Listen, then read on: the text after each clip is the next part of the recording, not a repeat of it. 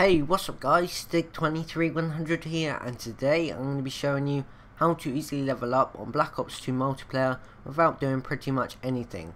So all you're going to need to do is you're going to need to go to League Play, and from here you want to select Team Deathmatch, mainly because the games are shorter, and once you've done that obviously you have to wait until the lobby uh, loads up and you actually spawn into the map. Now once you've actually spawned into the map you just want to select a random class, does not matter what class, and from here you just want to pick a hiding spot anywhere on the map, preferably on the side you actually spawned on.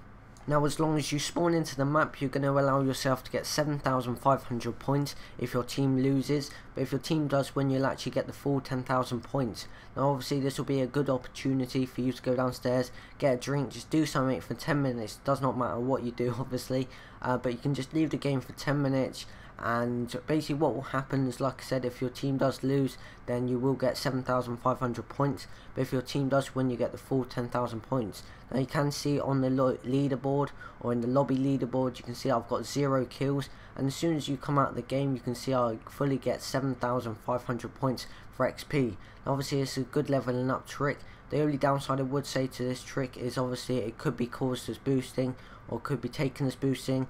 Um, so you have to be a little bit careful on that. But obviously it's a good thing to start off if you're around or if you're low level sorry. Um, so yeah it's a really cool trick. I hope you enjoyed this video. If you did then please give the video a like. There will be a text tutorial in the description. But like I said I hope you enjoyed this video. If you did then please give the video a like. Please subscribe. Thank you and goodbye